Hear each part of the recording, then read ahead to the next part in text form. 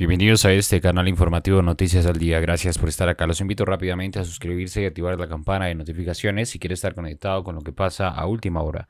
Tropas de Ucrania arremeten con drones posiciones rusas cerca a la central nuclear de Zaporilla. El objetivo de su operación fue una serie de instalaciones de tiendas de campaña, así como tecnología militar rusa. No olvide dejar un comentario en este video y un me gusta también para apoyarnos. Muchísimas gracias. Las Fuerzas Armadas de Ucrania confirmó este viernes el uso de drones de combate contra posiciones del ejército de Rusia en las inmediaciones de la central nuclear de Zaporilla ocupada por los soldados rusos. Según señalaron las autoridades militares ucranianas, el objetivo de su operación fue una serie de instalaciones de tiendas de campaña, así como tecnología militar rusa. Entre estos elementos rusos destruidos se encuentran tanto automóviles como armamento antiaéreo como sistemas de lanzaproyectiles múltiple modelo Grand. Como resultado a la arremetida, tres racistas eh, con el que Ucrania se refiere en ocasiones a los invasores rusos. Perdieron la vida y otros 12 resultaron heridos, indicaron las Fuerzas Armadas ucranianas. Las autoridades prorrusas de la región de Zaporilla, tomada en gran parte por las tropas rusas, habían informado anteriormente de la arremetida, cifrando que 11 los heridos, 4 de ellos de gravedad. ¿Qué opina de esta noticia? Nuevamente los invito a suscribirse y activar la campana de notificaciones. No olvide dejar un comentario y un me gusta. Rusia anuncia la destrucción de cuatro sistemas de proyectiles estadounidenses durante el mes de julio. Por su parte, el Ministerio de Defensa de Rusia anunció este viernes que entre el 5 y el 20 de julio sus fuerzas lograron destruir hasta cuatro sistemas de lanzaproyectiles múltiple de fabricación estadounidense HIMARS. Así lo informó el portavoz de la cartera de defensa, quien señaló que las Fuerzas Armadas rusas han logrado alcanzar a sus objetivos por medio de armamento de alta precisión. Eso es noticias al día y por otro lado vamos con más información. Y moralmente, el responsable de, provocar los eventos de ese día. No hay duda de eso. Irrumpieron a este edificio, creyeron que estaban actuando por los deseos y por las instrucciones de su presidente. Y teniendo esa creencia, era una consecuencia que se podía ver del creciendo que se observó de las falsas declaraciones, de las teorías de conspiración y de las exageraciones atrevidas que seguían promoviendo a través del megáfono del presidente, el más grande del planeta. La violencia, destrucción y caos que vimos más temprano fueron inaceptables, no democráticos y no estadounidenses. Fue el día más triste que he tenido sirviendo como un miembro de esta institución. Señora Presidente, el Congreso fue atacado y eso es un ataque a la República misma. No hay excusa para esto. Una mujer murió y la gente tiene que ir a la cárcel y el presidente nunca debe, nunca debe hacer creerle a los estadounidenses cosas que no son.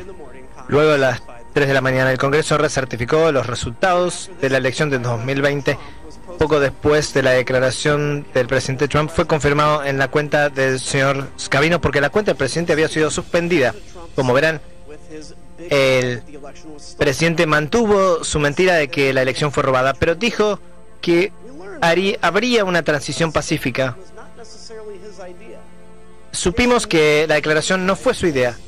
El asesor de la campaña dijo que luego de la sesión del Congreso no escuchó nada del presidente de la Casa Blanca de asegurar que la transición pacífica de poder ocurriría. El señor Miller redactó una declaración y llamó al presidente a las 9.33 de la noche para publicarlo. Veamos qué dijo del llamado. ¿No estuvo de acuerdo con algo de lo que usted puso? ¿Alguna palabra en particular que no quería que fuera incluido? Diría solo que quería decir transición pacífica y dije, bueno, eso ya ha pasado, eh, transición ordenada. Eso fue todo el desacuerdo sobre la conversación. La última persona con la que habló el presidente esa noche fue Johnny McKinney, su jefe de personal. El señor McKinney dijo que hablaron de los eventos del día y las renuncias del día de personal. La decisión de renunciar pesaba sobre la gente. Gente sobre el señor Pottinger, señorita Matthews, se negaban a estar asociados con la falta de cumplimiento de deber del presidente. Pero otros estaban preocupados de que dejando solos al presidente pondría en riesgo al país. Esto escuchamos sobre esa tensión de Pat Cipollone, el general Mark Milley y el señor Scalia, que era... Y, entonces, después de eso, algunas personas estaban renunciando, por supuesto, por lo del 6 de enero. em, y ¿Lo consideré yo? Sí. ¿Lo hice? No. Una cosa que me preocupó es que ¿quién me reemplazaría a mí si me iba? Y tuve algunas preocupaciones de que podría ser alguien que, ustedes saben, eh, hu- hubiera dado mala asesoría. En la mañana del 7, la decisión a la que llegué fue que lo más constructivo que yo pudiera hacer era una reunión secreta del gabinete. Pensé que intentar trabajar con el gobierno entrante de mantener en calma el barco era de más valor que renunciar, luego lo cual me hubiera, no hubiera tenido poder. Jim pensó que debía haber habido, debió haber habido una reunión de gabinete. No lo recuerdo. Me parece que probablemente tenía algo que ver con la opinión de Mark de cómo el presidente podría reaccionar a ello. Eh, cosas de ese tipo. Hubo un par de llamados que Meadows o Pompeo, pero más Meadows. ¿Cómo está el presidente? Pompeo diría, ¿y cómo está el presidente? Meadows diría, bueno, está en un lugar muy sombrío. Este, por ejemplo, del 7 de enero, este es el día después, ¿correcto? El presidente está muy emotivo, en, un mal lugar, Meadows.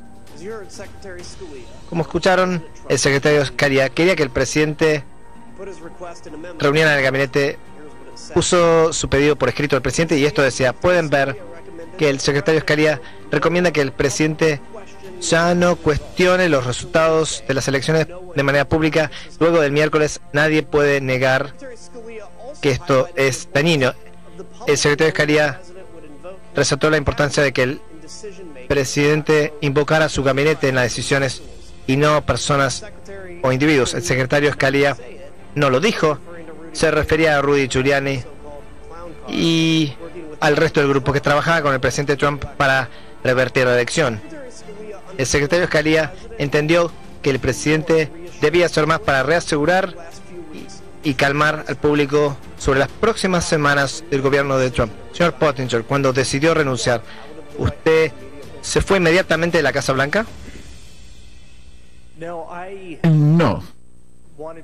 Eh, yo quería primero hablar con mi jefe inmediato, el asesor de seguridad nacional, Robert O'Brien. Robert O'Brien estaba viajando el 6 de enero, entonces lo contacté como a las 4 y 30 de la tarde y le dije que estaba presentando mi renuncia. Aceptó la renuncia